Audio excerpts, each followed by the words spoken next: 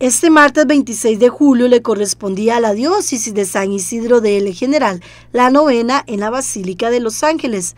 Durante la homilía del obispo Monseñor Juan Miguel Castro aprovechó para hablar de la importancia de los abuelos en las familias y darles su lugar. Es recordar este día a nuestros abuelos. Se nos ofrece la gran oportunidad para compartir sus alegrías y penas a sabiendas que por ellos, como dice el libro del eclesiástico, permanece una rica herencia, su posteridad.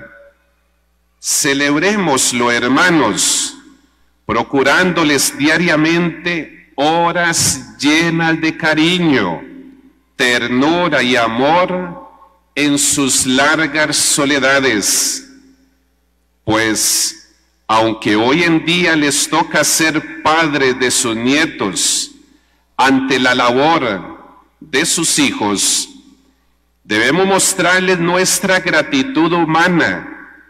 Tristemente comprobamos que antes eran ellos a los que se visitaban. Monseñor precisó que se han olvidado de esas personas tan importantes. Nuestra sociedad ha cambiado de tal forma que hoy son los que visitan, pues los otros no tienen tiempo.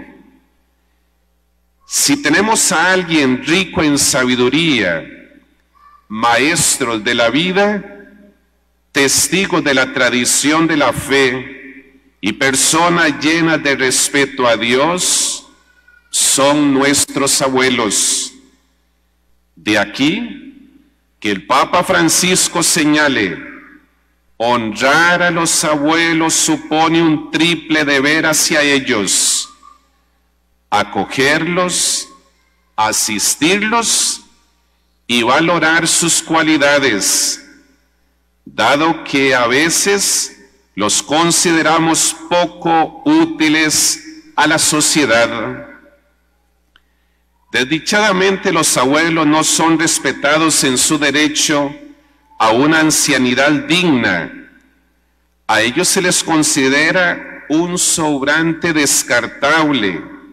Se los somete a una especie de eutanasia en cuotas. De ahí que se tiene que hacer conciencia de la manera en que estamos tratando a los adultos mayores. Les invito, queridos hermanos, a implorar a San Joaquín y a Santa Ana y sobre todo a su maravillosa hija, María, Madre del Salvador, para que cada uno de nosotros poseamos amor para nuestros abuelos, a fin de que nuestra sociedad los acoja y los trate con cariño, respeto y amor. También aprovechó para agradecer a los sacerdotes y fieles de la diócesis de San Isidro de El General, quienes acudieron este martes a la Eucaristía.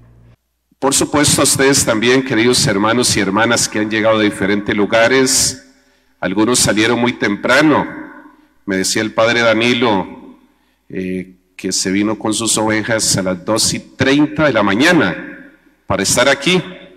Eh, pues bendito Dios y muchos, yo sé que han madrugado para estar aquí en este lugar. Bendito Dios, todos los que han venido, un gran número Cabe indicar también que Monseñor Juan Miguel Caso tendrá que presidir la Eucaristía de la vestimenta.